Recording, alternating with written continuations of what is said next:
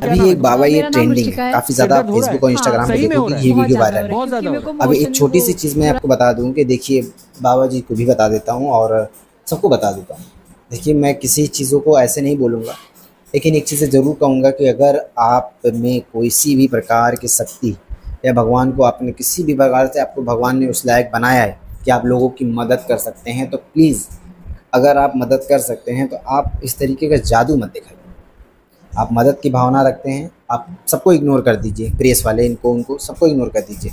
आप अच्छी चीज़ों लोगों को सिखाइए, बताइए, समझाइए, अगर आप सच में कुछ करते हैं तो फिर आपके लोग खुद ही जीत लेंगे।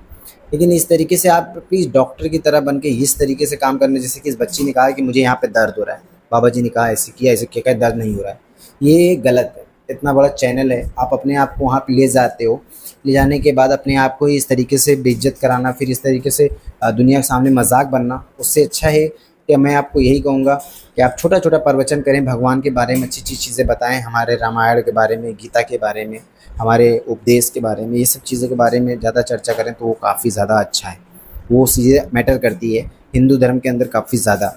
अगर आप प्रवचन करते हो, भगवान के बारे में बताते हो, उनकी गाथाएँ बताते हो, उनके बीते हुए कल को बताते हो, राम जी, लक्ष्मण जी, हनुमान जी, ये सब चीज़ें अगर आप बताते हो तो लोग सुनने के लिए भी आएँगे और अच्छी चीज़ें हैं। आपकी भी कहीं ना कहीं से ऊपर वाले से मदद मिलेगी। लेकिन आप ये दम डायरेक्ट आप भगवान बनोगे तो फिर बिल्कुल गलत है।